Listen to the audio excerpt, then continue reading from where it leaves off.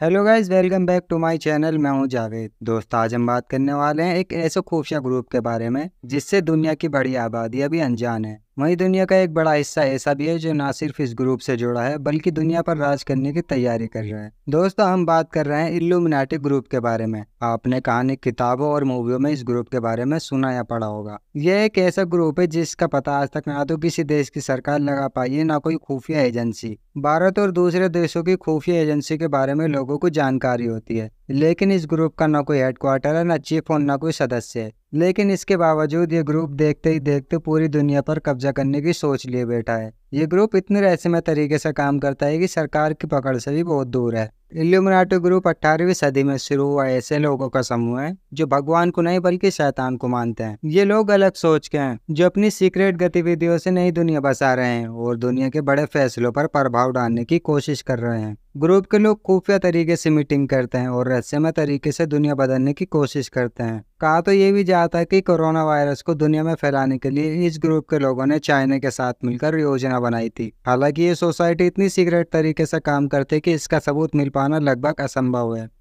कैसे शुरू हुआ इल्यूमिनाटी ग्रुप ग्रुप की शुरुआत एडम विशॉफ्ट ने की, जो जर्मनी में कैनेलो और प्रैक्टिकल फिलोसफी के प्रोफेसर हुआ करते थे। बवेरिया शहर में एडम एक शादीशुदा आदमी की तरह आम ज़िंदगी गुजार रहे थे, लेकिन उनके अंदर एक नई दुनिया बसाने का सपना पल रहा था। एडम की सोच थी कि कैथोलिक सोच और चर्च के नियमों के कारण कई लोग खुलकर ज़िंदगी नहीं जी पा रहे हैं। यहीं से उनको एक ग्रुप बनाने का विचार आया, जो बिना नियम की ज़िंदगी जिएगा, जिस पर धर्म की कोई बंदिश नहीं होगी, जो हर बेड़ियों से मुक्त मनमानी कर सकेगा। एडम विशॉप ने 1777 में एक सीक्रेट मीटिंग रखी, जिसमें उन्होंने नई सोसाइटी बनाने के विचार लोगों के सामने रखे। इस मीटिंग में यूनिवर्सिटी के पाँच लोग शामिल हुए थे। वे लोग भी नियम से परेशान थे। सबकी सोच मिली तो नई ग्रुप की शुरुआत हुई। पाँच लोगों की ज़िंदगी और उनके कॉन्फिडेंट को देखते हुए कई लोग उनसे जुड़ने लगे। चंद सालों में करीब तीन हज़ार लोग इस ग्रुप से जुड़ चुके थे।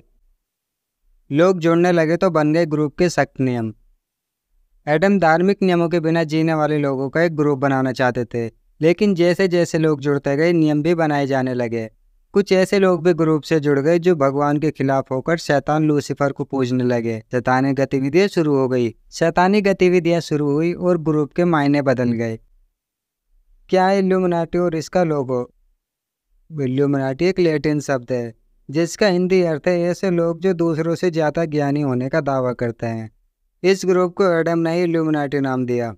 इस ग्रुप का ऑफिशियली कोई लोगो तो नहीं, लेकिन इस ग्रुप के लोग एक आँख को अपना चिन्ह मानते हैं। आँख को इसलिए महत्व दिया गया है क्योंकि आँख ही है जो दुनिया को देखती है। इस आँख को एक त्रिकोण में रखकर ग्रुप का लोगो बना दिया गया हालाँकि सीक्रेट सोसाइटी होने के कारण कभी इस पर आधिकारिक मौन नहीं लग सकी। समाज के लिए खतरा बनने लगा ये सीक्रेट ग्रुप देखते ही देखते शैतान की पूजा करने वाला ये ग्रुप भगवान को पूजने वालों के खिलाफ होने लगा। धार्मिक लोगों के साथ इस ग्रुप से जुड़े लोग बुरा व्यवहार करने लगे। काला जादू आम बात हो गई। खबर आई कि शैतान को खुश करने के लिए ये लोग इंसानों की बलि देते और आत्माओं को गिरवी रखते थे जहाँ के देशों में एबोशन गैर कानूनी था, वहीं ये लोग एबोशन करते हुए इसे बढ़ावा देते थे। इस ग्रुप के लोगों के लिए आत्महत्या करना भी एक मामूली बात थी। जब सरकार ने किया ग्रुप से जुड़ने पर सजाए मौत का ऐलान। जब इस ग्रुप के लोग आम जनता पर हावी होने लगे तो सरकार ने इसके खिलाफ सख्त कदम उठाने का फैसला किया। ऐलान हुआ कि इस ग्रुप से जुड़ने वाले हर शख्स को सजाए मौत दी जाएगी। लेकिन इल्यूमिनाटी नहीं रुका। ये पहले से भी ज़्यादा रहस्यमय तरीके से अपना एजेंडा चलाते रहे। ट्रांसपेरेंट इंक से भेजते थे सीक्रेट मैसेज। जब सरकार ने सख्त कदम उठाए तो इस ग्रुप से जुड़े लोगों के घर में छापा मारे जाने लगा। इनके घरों से ट्रांसपेरेंट इंक बरामद की गई, जिससे ये सीक्रेटली एक दूसरे को संदेश भेजते हुए नेगेटिव गतिविधियाँ किया करते थे। पड़ताल पड़ी तो सीक्रेट सोसाइटी को सत्रह में किया गया बंद। सत्रह में सरकार ने इस ग्रुप को समाज के लिए खतरा बताते हुए बंद कर दिया। इस ग्रुप की शुरुआत करने वाले एडम विसोफ्ट को यूनिवर्सिटी के प्रोफेसर पद से हटा दिया गया।